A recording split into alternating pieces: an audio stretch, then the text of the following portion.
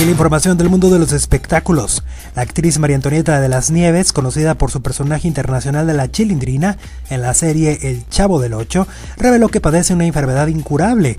De acuerdo con el portal larepublica.p, de las Nieves contó que padece fibromialgia, un padecimiento que afecta el sistema nervioso y que le impide realizar sus actividades personales y profesionales de forma normal.